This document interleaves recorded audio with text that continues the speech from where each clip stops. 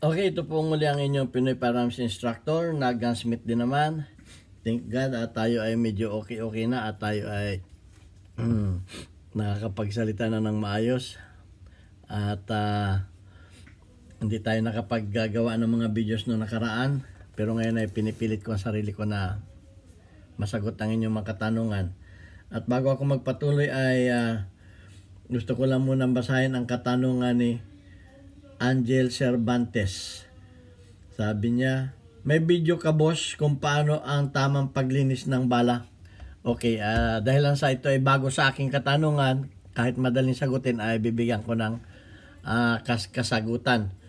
Okay, shout out kay ano, kay Conrado Il Iula Ilahilo.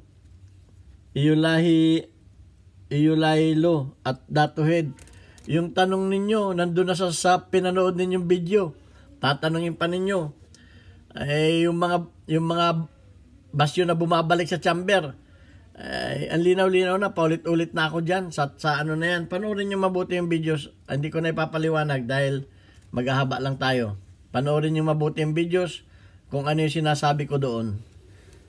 At uh, kung ginawa ninyo at hindi pa rin na at hindi pa rin na naayos, saka kayo magtanong. Gawin muna ninyo, saka kayo magtanong kung bakit hindi nag-ari at kung ano ang ginawa ninyo sa baril ninyo.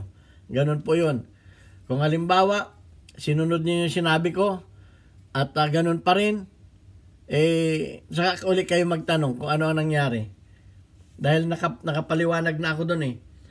Okay, ah, uh, yung tamang paglilinis naman ng bala, hindi ko pa ito natuturo. So, medyo Simple lang ito pero delikado dahil bala yan. Bago ko sagutin yan ay gusto ko lang muna magpasalamat dahil tayo ay malapit ng maging 37,000 na mga subscribers. Okay? Uh, ah, 36,900 plus na tayo. So ayan at sana paki-share lang at paki-like yung ating mga videos para lalo tayong dumami. Dahil pagdami ng videos, ah, pagdami ng viewers, pagdami ng aking upload na videos. At pasasalamatan ko lamang yung uh, mga sponsor natin na tumutulong na nagbigay ng tulong sa ating uh, anim na estudyante na, na mga beneficiaries. Ang aking YouTube channel ay ang kinikita ay pumupunta sa anim na estudyante na anak ng mga single parent na may, hindi kayang pag-aralin ng kanilang mga magulang. Kaya ito ang ginawa kong pagtulong dahil dati naman ako nagtumutulong na sa mga nag-aaral ng mga bata.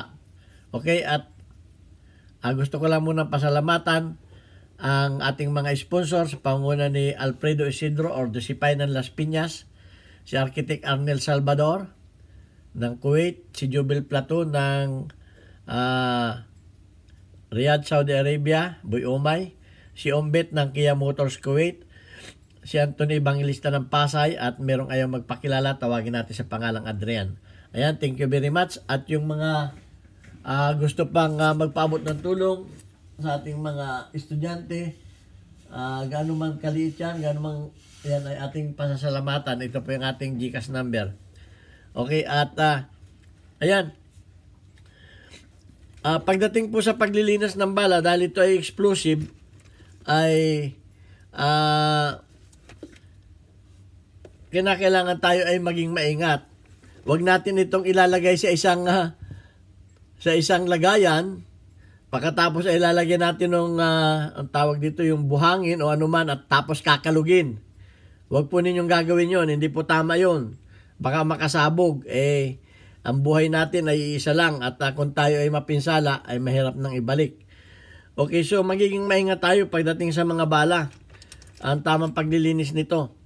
So, kung mga luma na yung bala ninyo, Kamukha nitong mga bala ko dito na medyo mga luma na, kahit anong caliber man yan. Kamukha nito na may, ayan o, may mga kalakalawang na, ganyan-ganyan. So, pag ito ibinala ninyo, eh, posibleng uh, mag-jam o kumapit ito sa sa chamber. So, ang ginagawa ko dito, ay dahil, uh, siyempre, di naman tayo naglilinis ng bultuhan. Okay? Uh, ito lang, ang tawag dito is Scotch Bright. Okay, Scotch Bright lang ang gagamitin ninyo. Inuulit ko, wag ninyo itong ilalagay sa isang uh, container tapos ilalagyan ninyo nung nung ano nung uh, tawag dito yung buhangin na pang ano, pang sunblast, tapos kakalugin ninyo o halu-haluin ninyo. Hindi ko po tinuturo yun dahil ang ah, baka maka, baka maaksidente at aksidenteng pumutok o ano man yan. Ay ano, at hindi rin po ako naglalagay ng mga chemical o ano man para linisin ito. Ito lang, purong Scotch Bright lang. At ah, ginaganito ka lang, ayan o, kalawangin niya na o, pupukus ko sa inyo. Ayan, Scotch Bright lang. Tapos gaganunin lang ninyo. Okay? Yan, gaganyanin lang ninyo. Oh. Kung mapapansin ninyo ay medyo pumuti na yung ano, sa ilang ikot-ikot lang. So, ganun lang. Scotch Bright lang ang gagamitin ninyo. Oh. At hindi rin ako nag, uh, nag-advise na gamitan ninyo ng mga steel brush yan. Uh, hindi ako nag-advise noon. O i-roll up ninyo ito dun sa uh, sa sa grinder na, na brush para madali ang paglinis ay hindi po yun. Hindi po ako nagtuturo noon. Dapat ay ito lang. Ayan. Oh.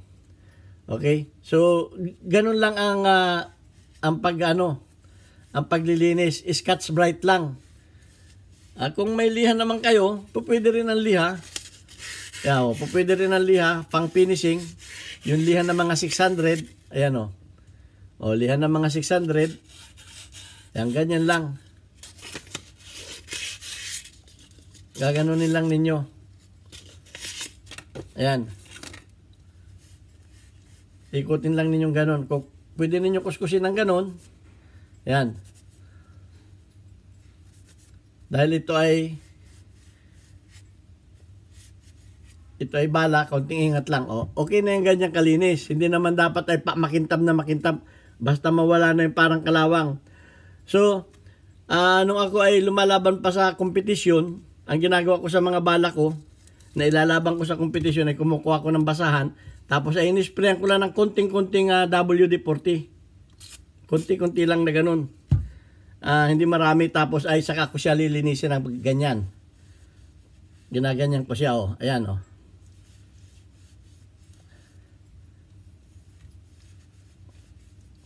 O, ganyan lang. At uh, pap- papadublehan ko yan ng tuyo. Ayan. Tuyo na tissue. O, ganun lang ang ginagawa kong paglilinis. Inuulit ko, huwag ninyong kakalugin ang mga ilalagay sa container at kakalugin ninyo, lalagyan ninyo ng buhangin o anumang cleaner dyan.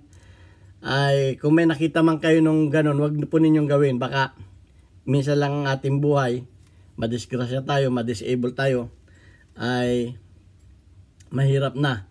So, mag- mag-ingat po tayo dahil ito ay explosive. Okay? So, ganun lang ang ginagawa ko. Eh, kung meron kayong pamamaraan, eh, eh ano ninyo, i-message ninyo kung paano kayo naglilinis, pero dapat yung safe.